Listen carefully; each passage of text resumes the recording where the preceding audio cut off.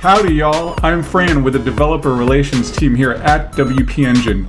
In today's video walkthrough, I'm going to teach y'all how to set up search engine optimization in headless WordPress with Yoast SEO, Next.js, and WP GraphQL. So let's get stoked, y'all, and dive right in. Now, before getting into the Yoast SEO plugin itself, let's quickly go over what SEO is and its importance. So, search engine optimization, or SEO for short, is the practice of orienting your website to rank higher on search engine results pages, or SERPs for short, so that you receive more traffic. Now, the aim is typically to rank on the first page of Google results for search terms that mean the most to your target audience. Yoast SEO is a WordPress plugin that improves your website rankings on search engines by helping you optimize your site's content and keywords. A lot of what Yoast SEO does is automated, such as analyzing a page's content and providing suggestions on how to improve it. The plugin gives you a score, tells you what problems there are, and how to improve your content for SEO. But there are things that you still need your input in, such as key phrases and meta descriptions. I'll dive right into the video as we go along in the video for that. In this section, let's go over installing it and extending it with WP GraphQL. Now, if I go over to my WordPress admin here, I'm going to navigate towards this plugins option on the left-hand side of the menu.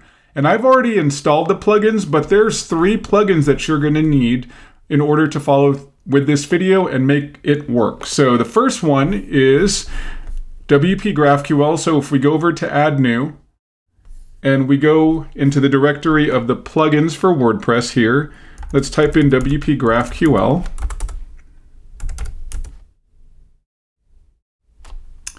And there it is, WP GraphQL. Then right away on the left, you see WP GraphQL Yoast SEO add-on. And then of course, the last one is Yoast SEO. And there's that. And as I said, I've already downloaded all of them, so you can see that right here. Okay, we have everything we need plugin-wise to make this all work. Now, the next thing we need to do before we start editing in post and seeing what Yoast can do is to ensure that we don't forget within our settings option here on the menu, go into general. And in order for that front end to reflect the URLs, um, we need to put that in the site address option here where it says site address URL. In this case, this is off localhost 3000, which is the development server that Next.js spins off off this port. So I've already done that here, but whatever front end URL you're going to have if you choose to do this and follow along, you're going to implement it here. Now let's go over to the posts type and click on an individual post to edit it to make sure that Yoast is doing what it's supposed to do. So if I go over to post here, click on this, and then let's get into the edit interface and block editor of WordPress. If I scroll all the way down to the page, I will see an option for Yoast SEO down there. And then I will see that there's the Yoast emblem right here. So the plugin is on and it's working. When I click on this here, and reveal what it can do, here is the features that it enables you. It reveals tools such as adding a meta description, canonical URL, breadcrumbs, titles, etc. Now there are lots of features to increase and boost your SEO. For this quick tutorial, we're going to focus on exposing the meta and full head of that HTML. So in the post, in order for web crawlers to better find and index the page.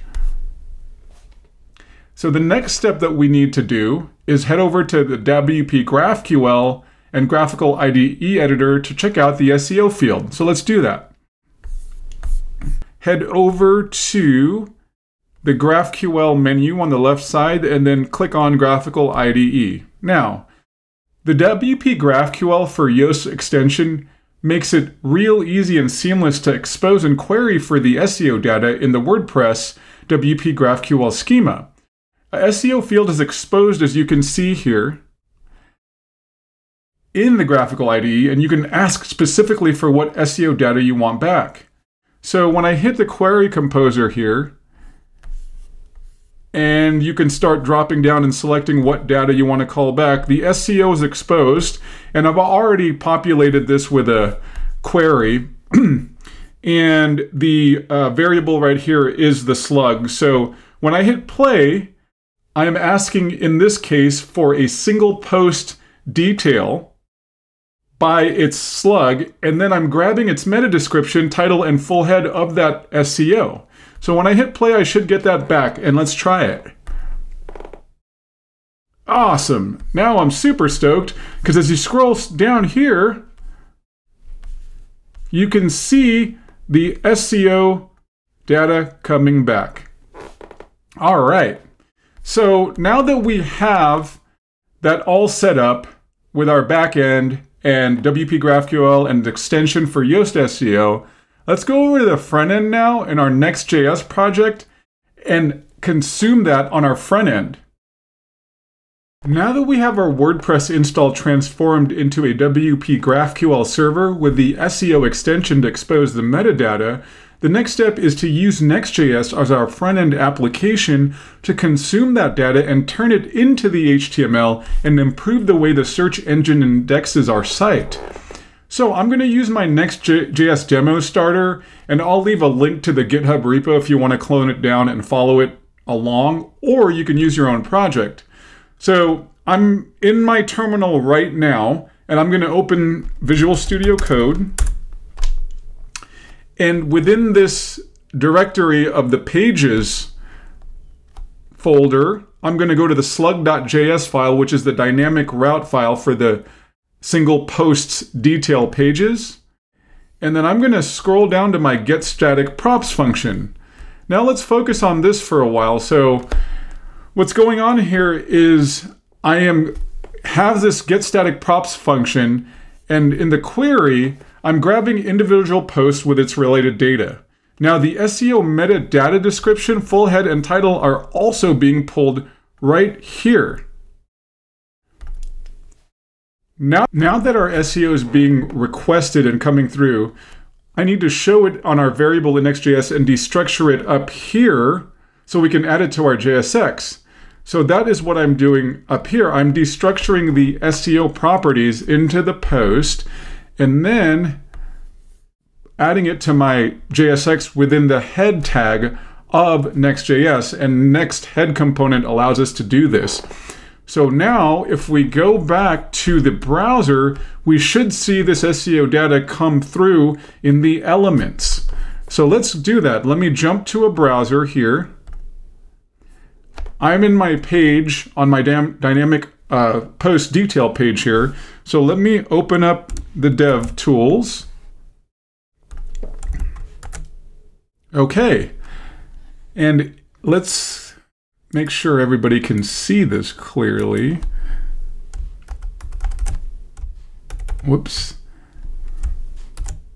So if I click on the head tag here, there it is. I'm getting all the SEO data that I've requested within my JavaScript extended. So it's working. Stoked. The next thing to think about is what if we want to manage the entire head easier with the full head field within the WP GraphQL schema? The issue here is, is that the next head component does not support React dangerously set inner HTML convention. So in order to alleviate the issue, we can use the HTML React parser package. So I've already done this, but you can do so if you go back to your terminal and run the command npm install HTML React parser dash dash save. Now I already done this. Now once installed, let's go back into our code and I'm just going to copy the snippet here from my blog post and then what's going on here is at the top of the file, we're importing the parse from HTML React parser, as you can see. Then we set a const up to call it the full head and transform it into React.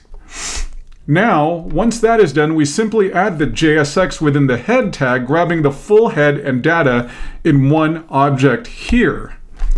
So going back to terminal, let's run it locally and see the entire full head showing with all the metadata and canonical URLs. Clear this out. Let me start up the development server again, npm run dev. Let's open the browser. Navigate over to our single post detail page, open up the elements, open up the head tag, and we can see, yes, it's pulling everything, the URL that we replaced, and all the metadata that the head tag is using with the HTML React parser.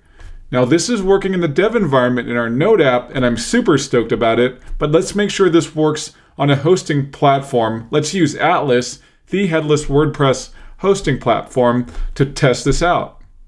So navigating here over to my Atlas accounts, this one is the Buddy run right here. I'm gonna click that. Okay. And let's go ahead and hit the head and there it is, working on WP Engine's Atlas. Woo! I hope you found this video helpful because, in conclusion, SEO is an important part of your site's discoverability when it comes to Google and other search engines indexing your site and ranking them high. It makes your website more visible, and that means more traffic. With tools like WP GraphQL, Yoast SEO, Next.js, and Atlas to host, this is made much more easier and seamless for the developer as you saw. Now we just covered the basics of what SEO can do with WP GraphQL. There are a lot more features and options you can do and I would love to hear about them in our Discord channel, so hop right in. And if you have not used the Atlas platform and are interested, please check the links I leave to get a free Sandbox Dev account. Until next time, happy coding!